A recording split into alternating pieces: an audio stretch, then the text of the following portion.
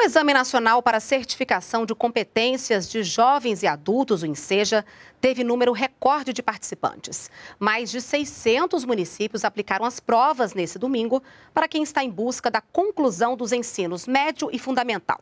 O participante que alcançar a nota mínima no exame deve procurar a Secretaria de Educação ou institutos federais indicados no ato da inscrição para ter acesso ao certificado de conclusão.